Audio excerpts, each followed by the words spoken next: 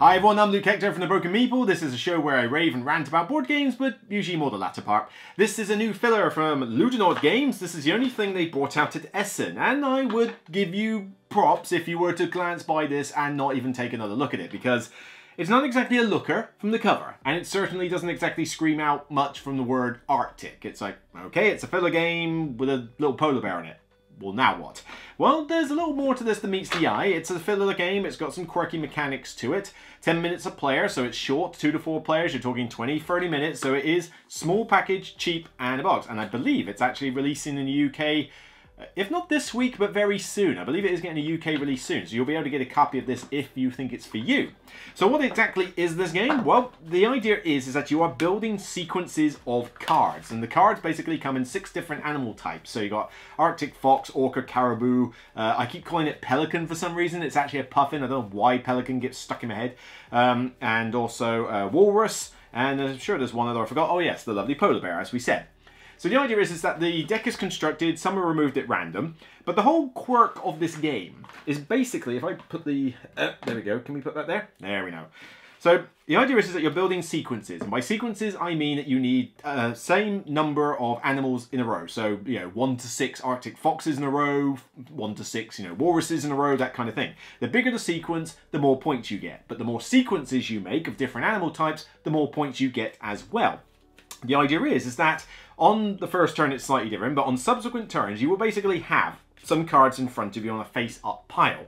It will have an animal face on it, and it tells you how many cards you must place on your turn. You'll have a hand size that's limited to seven, and it's like, okay, I can put two cards down in this case. So I've got to find two cards in my hand that I'll put down. Well, Makes sense to put another Arctic Fox down, continue the sequence, but now I've got to choose something else. All right, fine, we'll choose uh, the Walrus here. So now I've only got to put down one card on my next turn, but what the, uh, the rest of the card does is that it dictates the rest of your round.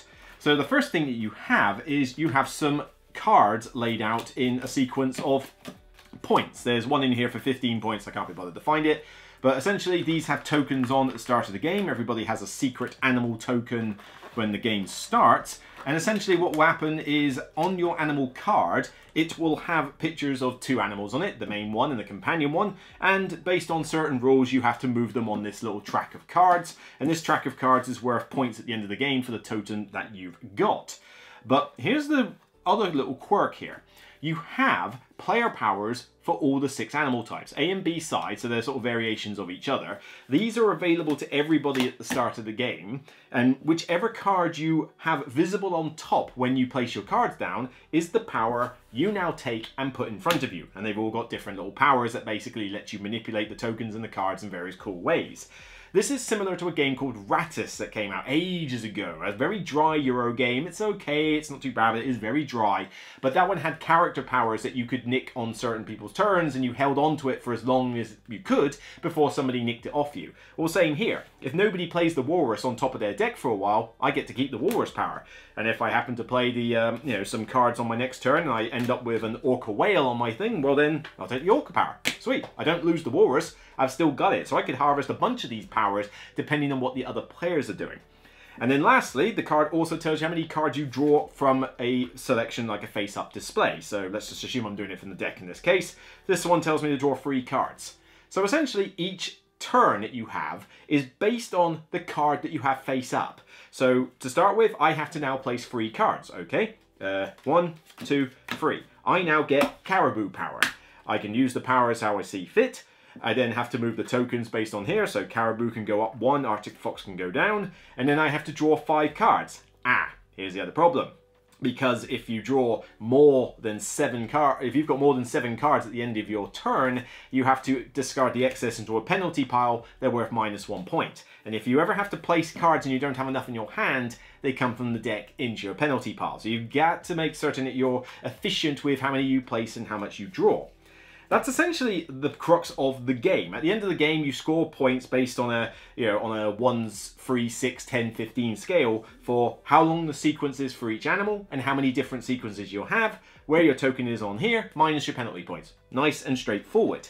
This, at first, I thought, okay, quirky little game. It's quirky, it's a different mechanic. The Rattus uh, powers thing is really cool. You know, you've got different powers for the variety aspect.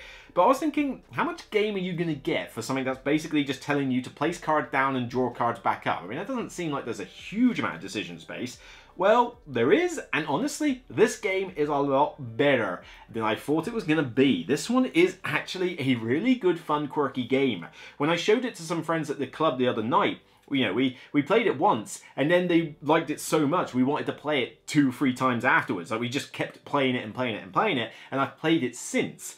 This game is just a really good little quirky filler, because you're thinking first, right, I need to create sequences. Well, I've got cards in my hand. Do I extend the sequence I've got and leave it at that? Well, if you do, you don't get to draw any new powers because if I end, if I start with Caribou and end up with Caribou, I still have that power. That's not, uh, that's not going to change anything.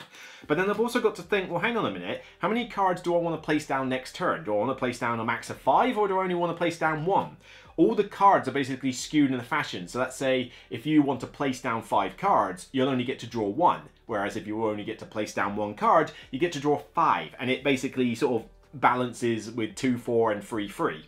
So you're looking at not only what powers you can grab, but you're looking at which tokens you've got to move. Your one is hidden, so you're not trying to make it so obvious that my, you know, my polar bear is my totem, therefore please can we have it on the 15 point card, please? You know, you want to kind of bluff it for as long as you can. It may sound like not a big choice with the whole like, oh, do I play five cards or one card on the next turn. But there's more to it than you think. Because if you only place one card, you're not creating a big sequence. You can dictate exactly what you draw, uh, place down, and you know you're not going to run out of cards. You've got a, hopefully a lot for the next round. But one card's not a lot you know, placing down five cards is great. You could build up a massive sequence of Arctic Foxes if you've got five Foxes in your hand.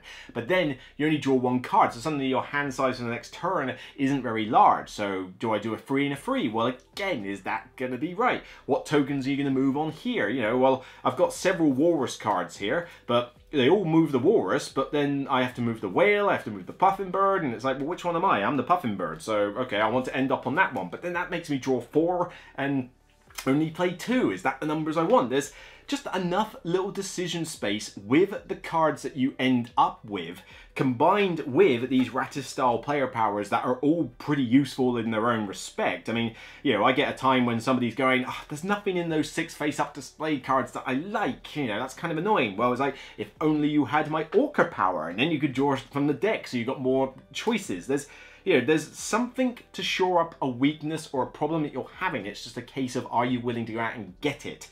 Just very cool, quirky little mechanics with a decent amount of decision space. That's what you want from a cool filler. I love the fact that it feels like a different filler. You know, I've played some fillers lately and they've been good fun. This one is different. I can't think of any game off the top of my head that uses this kind of mechanic of the visible card dictates your turn on placing and drawing cards. I mean, if you know of any then by all means, shove it in the comments. But off the top of my head, nothing comes to mind. It just is a really good, quirky, fun game, and we've played it over and over again in sequence, and, you know, no pun intended, and enjoyed it every single time because, you know, it's very short as well. It says 10 minutes a player. Honestly, this game is not going to take 40 minutes with four players. It does not. This game is done and dusted within about 20 to 30 minutes tops. And I do mean tops. You know, if people don't take so long on their turns, which they shouldn't do, because there's only so much you need to think about, this game should be done and dusted after a teach, after about 20 minutes, 25 minutes or so. It's quick. Quick to set up. Um, you know, you've just got to separate, uh, you know, some certain cards based on player count and then mix them all together. Have a face-up river, select your powers at random, lay out the cards. Not that long, really. You know, you can share it amongst the group. But it's just cool and quirky, and I like cool and quirky. I'm giving this 9 out of 10. I'm giving it a seal of distinction because this is what I want from a filler. Yes, it could look better. You know, the artwork is fine. It's kind of standard and it's not exactly going to get many people to pull it off the shelf. But it's on Board Game Arena, so you can try it on there. It's getting a UK release very soon, so you can buy it relatively cheap. It's just good, simple, fun, quirky, variety with the player powers, easy to teach, easy to play. I mean, what more do you want from a filler? It's a surprise gem for me. You know, I didn't know if this was going to be a big hit. It was the only thing that was new from Ludonaute. Normally they're known for, you know, some slightly bigger games, but Ludonaute are known for their more quirky designs. Living Forest is pretty interesting in itself, Uh, Archaeologic is definitely a very unique deduction game for it. Re Precognition, if you've ever played that, that is one of the most unique games I have ever played in recent years. It takes it's a little clunky in places, but it is very unique and quite cool.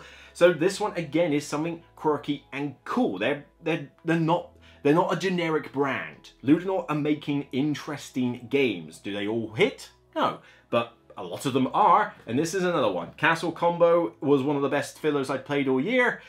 It's now got some serious competition. 9 out of 10 for Arctic. So that's it for me on this episode of The Broken Meeple. If you like what you see, then please thumb it up on YouTube and thumb it up on Board Game Geek when it goes live on the page. Don't forget to check out the rest of the content I've got. Essen has been reviewed in a big long video, and this is probably the first of all the Essen videos that I'm going to be putting out over the next few months. Speed reviews for the small stuff, larger reviews for the bigger stuff, and there's a lot to get through, but don't worry, there's a lot for you to enjoy. So take care, and remember, regardless of whether you're freezing your butt off with a walrus or an arctic fox or a lovely little polar bear, it's still only a game, so bye for now.